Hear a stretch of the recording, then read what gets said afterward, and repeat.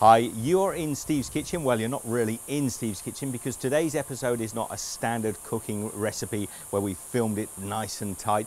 This one, we've been invited into a wonderful restaurant in Malaysia on the island of Penang.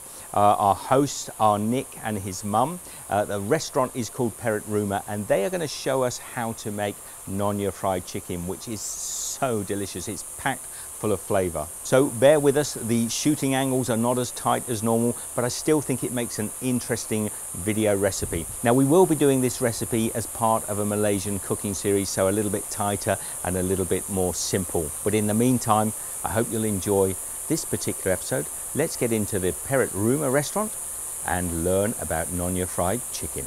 I am super excited today. We are in Perut Rumah. This is a Nyonya uh, cuisine experience here in Penang.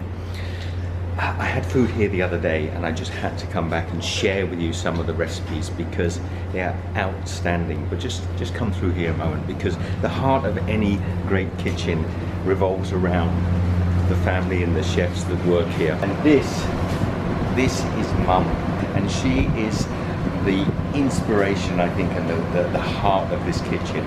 So today I've been cooking her recipes and I'm so, so uh, honored just to be in this kitchen today. So we've got 1.5 kg of chicken pieces and they've just been uh, cut up. And then we are going to be infusing all these beautiful flavors. Now Nick's been really great. He's written on the side of each of the little jars here so I know what I'm using. This is the cumin and it's a powdered cumin, one teaspoon. I'll go through those with you in a moment. We've got some coconut cream and then we've got some more shallots, fresh curry leaves. Yes. Nothing beats fresh curry leaves and some beautiful red chilies. Now these are sort of medium medium heat or very hot these ones? uh, This is medium, not very hot. Yeah. We are going to start by mixing our seasonings, our spices together. I've got one teaspoon of uh, cumin powder, one teaspoon of powdered coriander, one teaspoon of black pepper, one teaspoon of fennel. I, I like it spicy, so we're going to go with two teaspoons of chili, one over here, one over there, just to remind me. Clove is very intense, so we're just going to take maybe about quarter of a teaspoon of cloves. We're going to put two teaspoons of turmeric in there and cinnamon. Now again, we're going to go with just half. It's quite intense, so we'll just go with half a teaspoon of cinnamon. We're going to put some sweet sugar in there. About two, two teaspoons. A couple of teaspoons of yeah. sugar. Teaspoon Not of salt, about a teaspoon, maybe just a little bit under. Mm. So you see our shallots here. We've taken six of them and we've just blended them down to a beautiful creamy texture like that. Okay, so that just goes in there seven tablespoons of coconut milk. About 100 ml. About 100 milliliters. Let's just mix those together. Getting a beautiful marinade now for the chicken. Look at that. Got all that lovely flavor. Now we're going to take our chicken pieces. So all the chicken's going in there. Now I am going to use my hands. So then just get your hands in and we really want to coat this chicken over. Get About some three tablespoons. Three tablespoons of corn flour. Yes. Sprinkle it over. This is going to help thicken the uh, the, yeah. the sauce. Make, yeah. Fry me a bit crispy. Yeah. Uh, yes. Curry leaves in now. Five or one. On. Two. So the curry leaves. Oh, smell those curry leaves. Yeah. If you haven't cooked with curry leaves before, you really should try it. So I'm just going to get in there now and coat this over. Ordinarily, this would be left to infuse all the flavors for at least four hours, ideally overnight.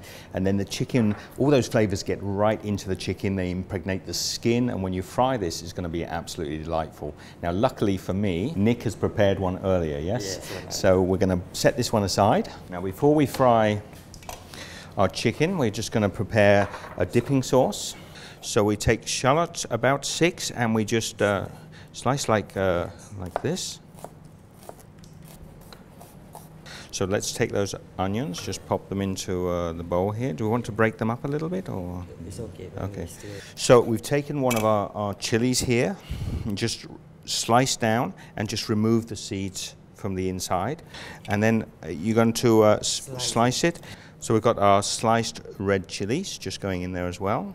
Okay, so we're going to add a teaspoon of mustard powder in there. We're putting in Worcester sauce, Lea & Perrins sauce. We're probably going with about quarter to half a cup. Two tablespoons of sugar just to add a sweetness. Two tablespoons.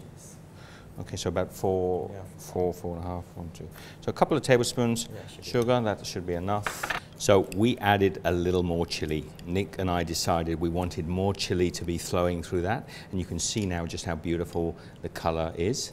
Now we've come through into the kitchen, and Nick and I are gonna fry off the uh, Nyonya fried chicken. NFC. NFC, Nyonya fried chicken, copyright, all rights reserved. So we've got the, the pan of oil just come up to heat. Wants to be about four inches deep, really want to be able to drop the chicken right into it. Of course, you can do it in a regular frying pan, but it's nice in the wok. Gonna drop the first one in. We're just looking for a sizzle. Chicken's gonna drop to the bottom.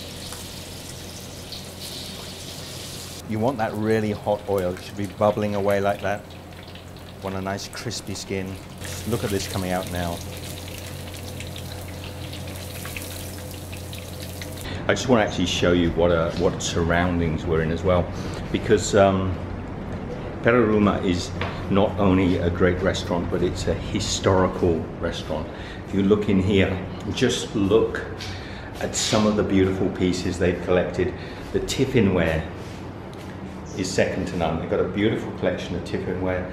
I know that uh, Nick told me before these were his first pieces that inspired him to start collecting this uh, enamelware. Right, I'm going to take a, a piece of this this Nyonya fried chicken. Now look, got a beautiful crispy outer layer and all those flavors. Mm.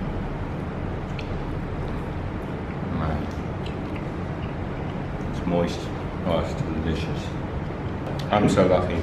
Now, if you think that chicken was packed full of flavour, there's another episode very similar to this we'll be doing with a rice dish, which is just to die for. It is so delicious. So I hope you'll enjoy that one. It'll be coming up in a later episode on Steve's Kitchen. So subscribe, comment down below, let me know what you think of this. Be good, and we'll see you shortly.